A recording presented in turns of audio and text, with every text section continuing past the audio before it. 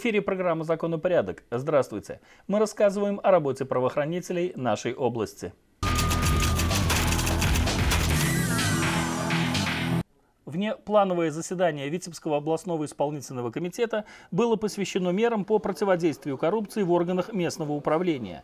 Темы актуальные требуют всестороннего рассмотрения. В работе заседания приняли участие генеральный прокурор Республики Беларусь Александр Конюк, председатель Комитета госбезопасности Валерий Вакульчик и глава администрации президента Беларуси Наталья Качанова. Анализ ситуации показал, что факты коррупции в большинстве случаев носят бытовой характер. И если нет ответственности за нарушение закона, возникает чувство вседозволенности.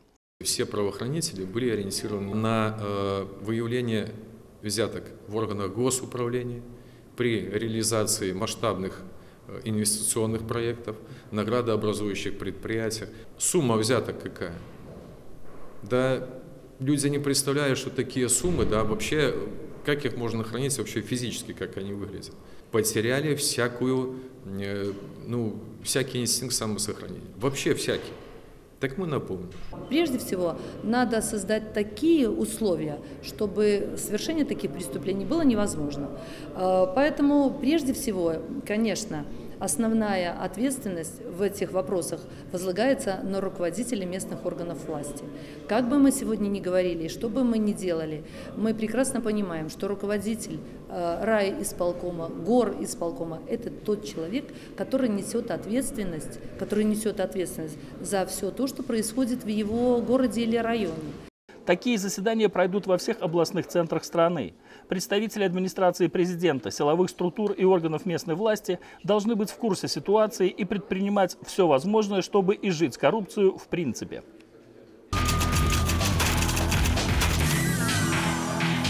Очередного наркодилера задержали в Витебске ходе проведения оперативно-розыскных мероприятий сотрудники Управления по незаконному обороту наркотиков УВД облсполкома совместно с инспекторами ГАИ на улице Калинина в областном центре остановили автомобиль «Лада Ларгус» под управлением неработающего жителя Витебска. В легковушке нашли высушенную марихуану. Также наркотик обнаружили и на съемной квартире задержанного в Городокском районе. В органы внутренних дел поступила информация о возможной причастности 36-летнего жителя Витебска к распространению наркотических средств растительного происхождения. В ходе оперативных мероприятий сотрудниками подразделения по наркоконтролю совместно с инспекторами ГАИ была задержана автомашина «Лада Ларгус», которой он управлял. В ходе осмотра его автомобиля в салоне была обнаружена высушенная марихуана. Также наркотики были найдены в квартире, которую снимал мужчина в городе, а в дачном доме в Городокском районе, где часто бывал задержанный, растительное наркосырье сохло прямо на печке. Всего в ходе обысков правоохранители обнаружили и изъяли более трех килограммов высушенной марихуаны.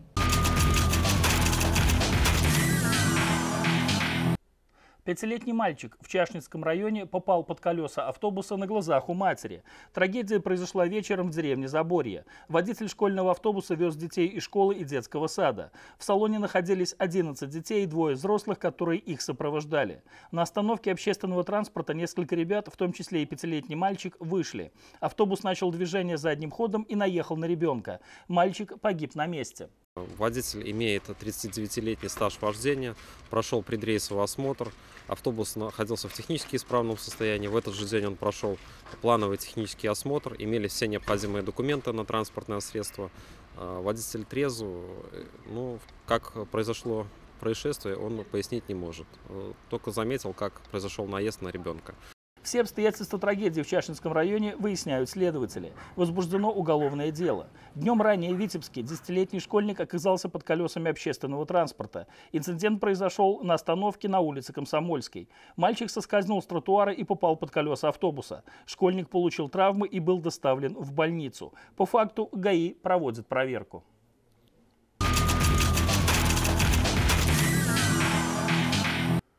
Продолжаем нашу программу. Специальное подразделение правоохранителей, отряды милиции особого назначения Беларуси отметили 30-летие со дня создания службы.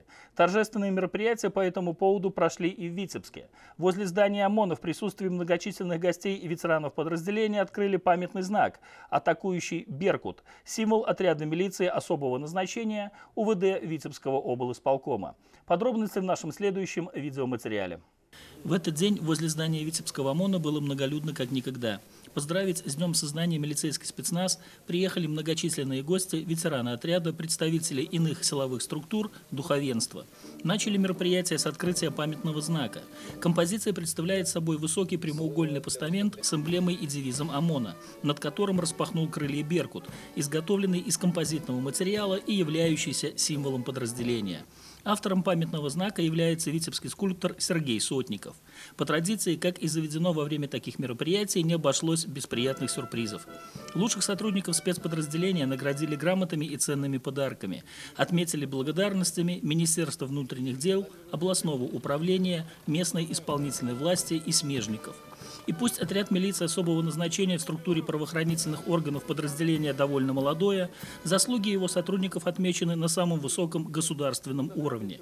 30 лет назад создание милицейского спецназа было обусловлено реалиями того времени, продиктовано осложнившейся криминогенной и оперативной обстановкой, когда бандитские разборки, рэкет, массовые драки стали привычным делом. Создание данного подразделения на то время оно было необходимо, потому что все чаще на территории Республики Беларусь появлялись э, бандформирования, были нападения на улицах на граждан, в том числе и вооруженные нападения. Э, подразделения милиции, они просто-напросто не всегда справлялись с той поставленной задачей. Были в том числе нападения на сотрудников милиции. При расследовании уголовных дел были угрозы как следователям, судьям. И для того, чтобы противостоять этому злу, был создан отряд милиции особого назначения. Это специальный отряд, вооруженный отряд, э, который имел специальную подготовку. Э, и именно благодаря этому подразделению, оно вообще одно из первых подразделений на территории Республики Беларусь, специальный отряд. Да, на сегодняшний день есть и другие спецназы, но тогда именно ОМОН справлялся с той поставленной задачей.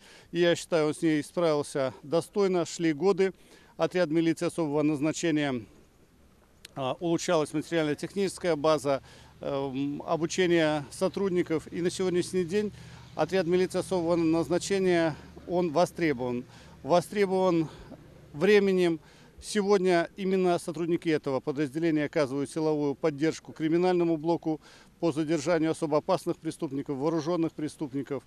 Именно на массовых мероприятиях, в том числе международного Э, характера э, участвуют сотрудники ОМОН. Если говорить об отряде милиции особого назначения Витебской области, то первоначально была создана рота, рота быстрого реагирования, которая выполняла задачи на территории Витебской области.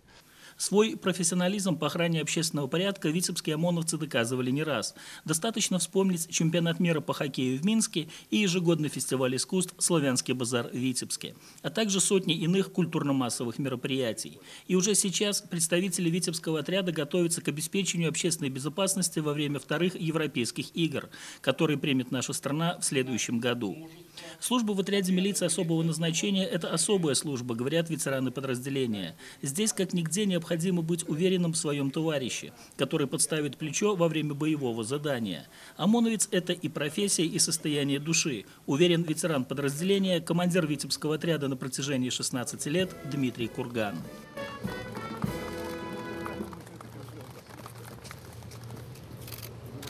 Это человек, который пришел в ОМОН и остался командиром ОМОНа до настоящего времени, будучи даже уже на пенсии. По той причине, что, ну, как бы так, душа, она всегда вместе с сотрудниками ОМОНа, потому что сейчас стояли в строю, допустим, еще 50% это те, которые я принимал на работу, те, которых воспитывал, командиры все буквально, в прямом смысле, начиная от командира ОМОНа и заканчивая взводными, родными, это всех, которых я принимал, которых обучал, которых как бы так нацеливал на выполнение задач. Поэтому как бы это гордость, это такая уверенность в том, что вот, наверное, ну, не зря 16 лет побыл командиром ОМОНа и как бы людей воспитал, поэтому как бы так не стыдно за это все. Казалось бы, служба в ОМОНе ну уж совсем не женское дело. Однако это далеко не так. Сегодня на улицах городов Беларуси нередко можно встретить и женщин, сотрудников милицейского спецназа. Ну, конечно, работа в ОМОНе – это очень э, трудный такой путь. И, естественно, для девушки, для, для и любого человека это э, престижная служба. Мы стараемся, да, поддерживать этот высокий уровень и э, достигать поставленные задачи. Если говорить в общем, то сотрудники ОМОНа всегда на переднем рубеже борьбы с преступностью. Это и задержание вооруженных преступников, специальные акции по пресечению актов терроризма, освобождение заложников, изъятие незаконно хранящегося оружия, силовое прикрытие оперативных мероприятий иных подразделений милиции. За 10 месяцев текущего года лично сотрудниками Витебского ОМОНа раскрыто порядка 30 преступлений. Выявлено более 5,5 тысяч административных правонарушений.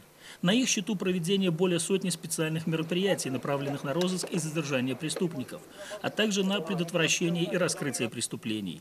Сегодня современные реалии требуют и иного подхода в подготовке сотрудников. Появляются новые подразделения, совершенствуется материально-техническая база, физическая и профессиональная подготовка. Для сотрудников ОМОНа предъявляются повышенные требования как э, в их моральных качествах, в плане э, физической выносливости, в плане их психофизиологических возможностей и навыков. Сотрудники проходят многоступенчатый отбор с момента, с первого дня, которые, когда они пытаются, скажем так, приходят к нам кандидатами на службу, им уделяется сразу же внимание, то есть как со стороны э, руководства подразделения э, проводится э, их изучение многостороннее, так и со стороны наших сопутствующих служб, психологов. Сотрудники сдают повышенного рода нормативы по физической подготовке. И уже в комплексе потом, изучая вот эти вот данные предварительного изучения, только после этого уже принимается решение о том, чтобы сотрудник именно был принят на службу в подразделение. Здесь не любят говорить о том, что работа сотрудником милицейского спецназа – это подвиг или что-то сверхъестественное. Хотя в повседневной службе здесь находится место и первому, и второму. И жизнью приходится рисковать и совершенствовать подготовку на пределе человеческих сил. Здесь просто честью и профессионализмом выполняют свою работу.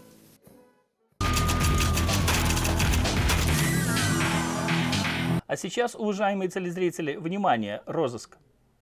Отдел внутренних дел администрации Первомайского района города Витебска устанавливает местонахождение пропавшего без вести Колодина Игоря Юрьевича, 84 -го года рождения, уроженца города Витебска, проживающего по адресу город Витебск, улица 1 Пролетарская, 12-8, который 31 мая этого года выехал на заработки в Российскую Федерацию в город Москва и до настоящего времени его местонахождение неизвестно. На вид 33 года, рост около 160 25 сантиметров, худощавого телосложения. Особые приметы. На животе шрам около 10 сантиметров, на левом предплечье татуировка в виде круга с зубьями. Был одет куртка светло-зеленого цвета, джинсы синего цвета, туфли коричневого цвета из кожзаменителя. При себе имел рюкзак зеленого цвета с личными вещами, мобильный телефон, ключи от квартиры и паспорт.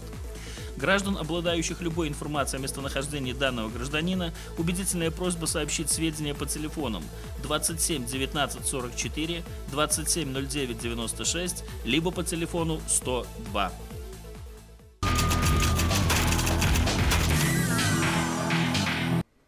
На этом, уважаемые телезрители, наша программа завершена. Я, ведущий Вадим Лопатинский и творческая бригада, говорим вам всего доброго. До встречи через неделю. Смотрите «Закон и порядок».